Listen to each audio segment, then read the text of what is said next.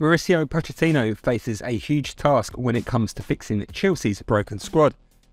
Chelsea's manager in waiting will have to restore harmony at Stamford Bridge because of the number of disaffected players. They have ended up with so many that they cannot fit them all in the dressing room, let alone the Premier League's 25 man squad for next season. The stories of players having to change in the corridors at their Cobham training ground have become the stuff of legend before the club managed to get them all in. Nothing is worse at any club than an unhappy player who is not getting any game time but can bring down the mood with negativity and resentment. Chelsea need a smaller, better, and happier squad. Pochettino has undoubtedly been hired because of his ability as a coach, but during his time at Tottenham, he was the master at building a strong team spirit and dressing room culture.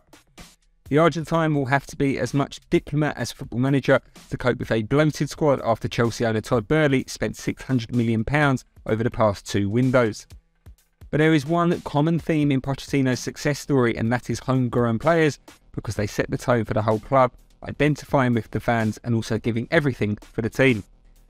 They will have to sell this summer to balance the books after missing out on European football for next season and to also fall in line with financial limits after their massive spending sprees. Chelsea will maximise their income if they cash in on homegrown players, but that is one area which Pochettino will definitely try to build on. England midfielder Mason Mount has one year left on his current deal and is a target for Liverpool, while Manchester United and Arsenal are also watching developments. Mount's contract standoff with Chelsea is heartbreaking for many fans who regard him as one of their own and they want to see him stay. The on loan Levi Colwill is another who has been left uncertain about his future as he wants to play and has benefited from his time at Brighton this season.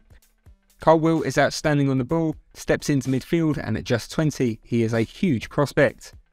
Colwill is a left footer and is seen as a future England international by Gareth Southgate, yet there is a reluctance to return to his parent club because Colwill fears he will not play.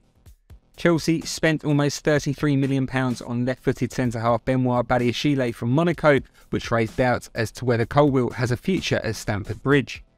But Pochettino is anxious to build his team around young, exciting talent, and Colwill, who still has two years left on his deal plus a further option, will be at the heart of that. Conor Gallagher is another who has been wanted by Newcastle, but is a typical Pochettino player, while Ruben Loftus-Cheek's future may be less certain as he only has a year left on his contract. Callum Hudson-Odoi has almost become the forgotten man while on loan at Bayer Leverkusen. Chelsea also need a centre forward, and Pochettino does plan to talk to Romelu Lukaku in the summer after his loan at Inter Milan expires. There has to be departures to balance the books, and N'Golo Kante still has not committed to a new deal, while Mateo Kovacic and Edouard Mendy could also go in the shake-up. But Pochettino will have to show a willingness to make big signings like Mykhailo Mudrik and Raheem Sterling work. Sterling is the experienced quality player who could bring something to a young dressing room and be viewed as a good example for young players. Mudrik was a huge signing but has yet to click, although there have been flashes of his pace, close control and potential. Again, it would be unthinkable to give up at this stage. Tottenham's identity was very clear during Pochettino's reign at White Hart Lane.